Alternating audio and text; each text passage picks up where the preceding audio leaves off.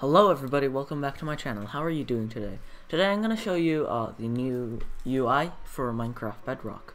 So basically on here we have Minecraft Preview that I got from the Microsoft Store.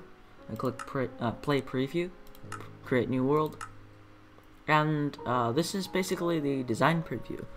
Over here you can see the image, uh, the like the pack.png, what it replaces. It replaces pack.png, basically what I'm trying to say.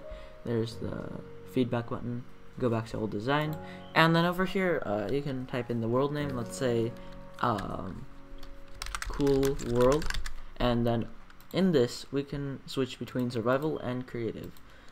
So the difference between this and the old UI is everything's a lot more smoother, there's a lot more, um, there's a lot more, it's basically a lot more polished and um, there it looks better. It's much easier to use. Okay, let's go to advanced. As you can see over here, um, the seed is now 64-bit instead of 32-bit, so it's basically as long as Java seeds.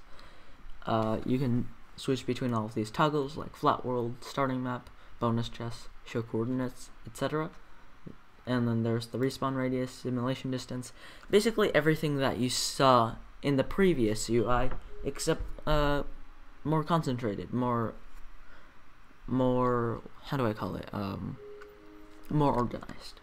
And then here in multiplayer, you can see, uh, you can switch between options, like player access, and then switching between multiplayer and single player game, etc. Uh, and then over here we have the cheats. And you can switch between whether you want or don't want the cheats and uh, what types of cheats you want. The resource packs and behavior packs, which are basically mods and texture packs for Bedrock. And then the beta features, which is used to access like the wild update, vanilla experiments, and then add-on features for, well, add-ons. So yeah, that's basically an overview of the new user interface that's inside the latest Minecraft preview. Thanks for watching. Goodbye.